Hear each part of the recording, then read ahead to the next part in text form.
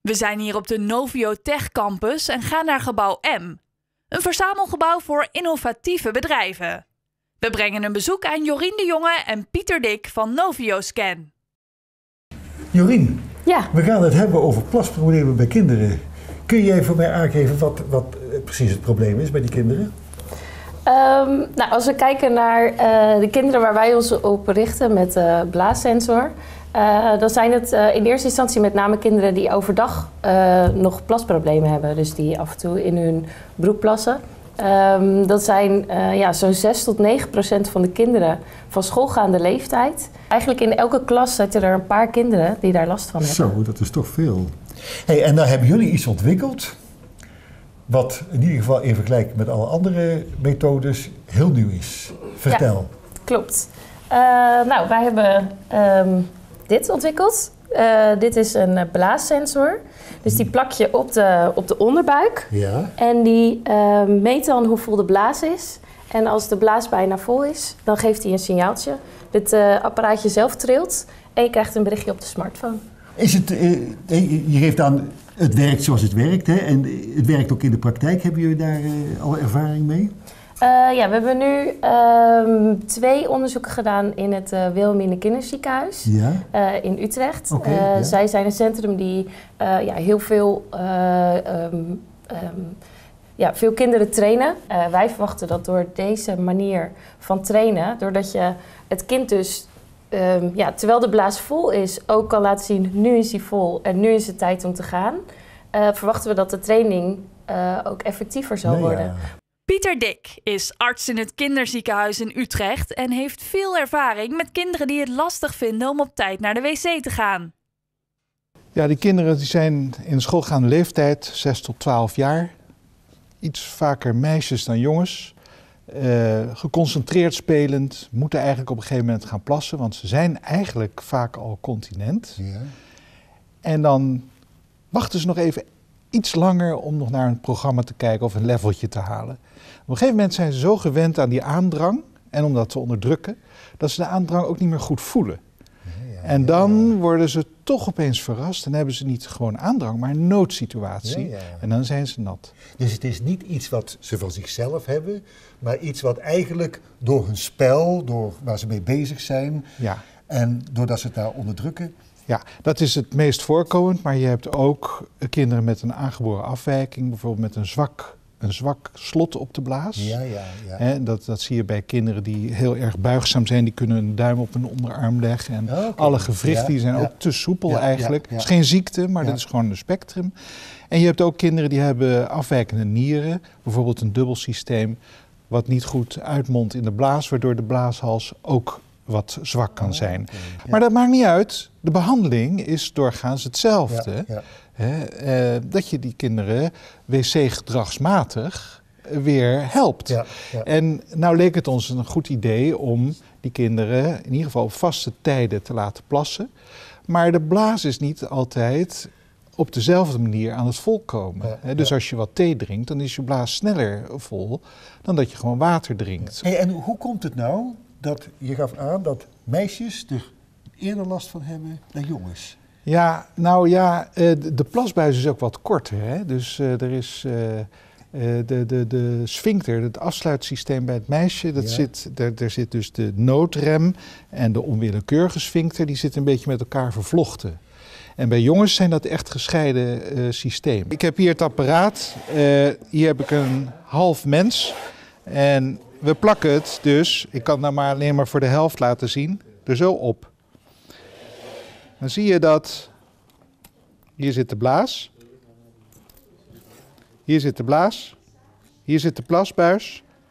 Hier is het apparaat wat dit gebied bekijkt. Nou, nou is de blaas leeg, maar als het vol is, dan is het net als een volle ballon. En dan kan dit apparaat zien hoe vol die blaas is. En als het vol genoeg is, dan geeft hij een signaal Maar nu eerst de pitch van de week. De pitch van de week. Guide laat ouderen niet vallen. Mijn opa Bernard is anderhalf jaar geleden gevallen over een drempel. Maar dit verhaal gaat niet over mij, Joris en ook niet over Bernard. Want één op de drie ouderen valt in Nederland. 1 miljoen ouderen in totaal. En in Nijmegen en omgeving zijn dat 6000 ouderen. En ouderen lopen het hoogste risico om te vallen in de nacht. En een val heeft voor ouderen grote gevolgen. Het kan fysiek, financieel als psychisch zijn. Dat mensen bang worden om nog überhaupt te bewegen. Dat is niet alleen een probleem voor ouderen, maar ook voor de mantelzorgers. En daarom hebben wij als studenten van de Radboud Universiteit Guide ontwikkeld. Guide is het gidslicht, Guiding Light. Guide gidst ouderen veilig van bed naar toilet. En Guide is uniek om drie redenen. Het verlicht het hele pad, dus niet alleen onder het bed of op de gang, het hele pad. Het duidt obstakels aan met verschillende kleuren. En als een oudere toch valt onderweg, dan doen wij een melding uit naar een mantelzorger, buur of familielid. Door een zelf te kiezen noodnummer die wordt opgeroepen. We hebben Guide, zijn we nu anderhalf jaar mee bezig om dit te ontwikkelen.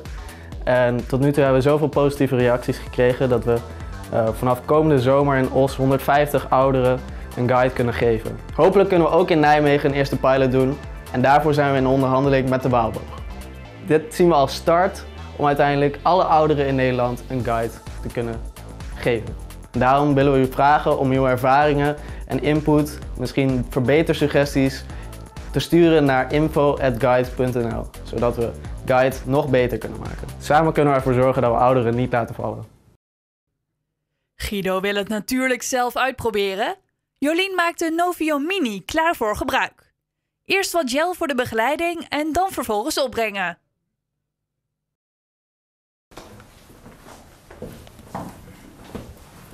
Zo, gelukt.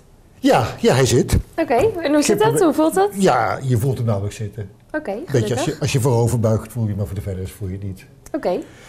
Wat Nou, vervolg? Eh, ja, je blaas vullen. Met blaas, oké. Is, dit, is dit wat zo gemiddeld in een blaas gaat? Ehm, het is wat veel. Wat veel? Ja, gemiddeld is zo'n blaas eh, van een volwassen persoon eh, 300 tot 400 milliliter. Oh, of vandaar dat ik zo vaak moet.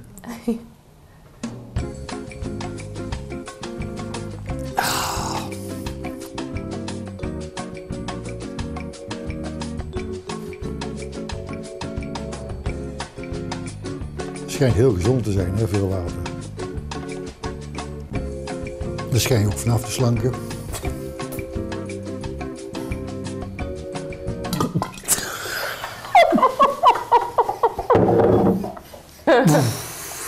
Oké, laatste slok.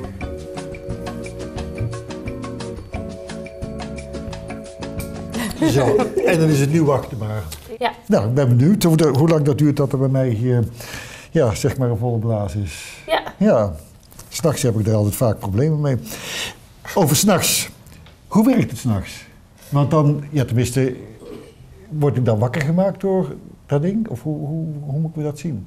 Ehm nou, s'nachts eh werkt het eigenlijk hetzelfde als overdag. Maar dan kan ook dat dat s'nachts niet genoeg is om wakker van te worden. Ja, ja. Ja, dus we kunnen ehm, met de telefoon kan je een, eh, met de app kan je een extra telefoonnummer invoeren. Dus dan eh, als het zover is dat de blaas vol is, wordt er ook een andere telefoon gebeld. Oh. Zodat de ouders dat ook in de gaten Ja, hebben. ja. Denk je dat het iets is wat door, door de zorgverzekeraars eh, gedekt gaat worden? Of, wat, wat, wat is het idee daarvan? Want dat is natuurlijk wel belangrijk.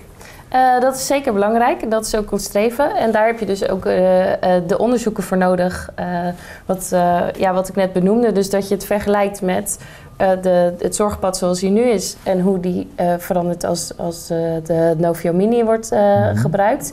En wat voor de zorgverzekering belangrijk is, is de, de zorg moet beter en het moet kosteneffectief Ja, ja. ook goed uitpakken. Dus zodra we bewijs hebben om dat te kunnen, of zodra we onderzoeken hebben en met resultaten dat we dat kunnen bewijzen, dan eh, ehm, is dat Wil zij dat wel denken? Ja.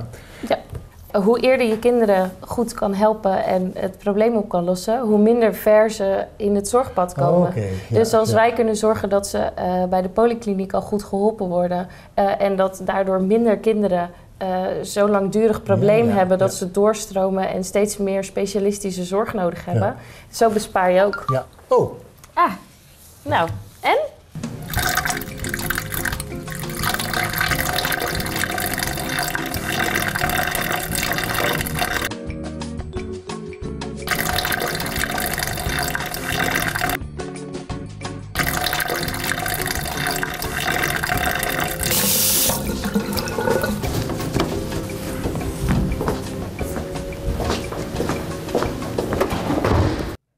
Werkt dus. Wanneer komt het op de markt? Nou, eind dit jaar eh, zijn we bezig. Nou, ik denk dat we dan het valorisatietraject af hebben. En wij mikken op eind dit jaar het op de markt te brengen. En we hebben veel belangstelling, internationaal gezien ook. Want we hebben al eh, op verschillende congressen dit laten zien. En eh, we worden er over gemaild, gebeld. eh, we, providers komen op ons af. Eh, Ja. ja, het is heel spannend om allemaal mee te maken. Nou, we wachten de toekomst graag met jullie samen af. Dankjewel. Bedankt, Guido.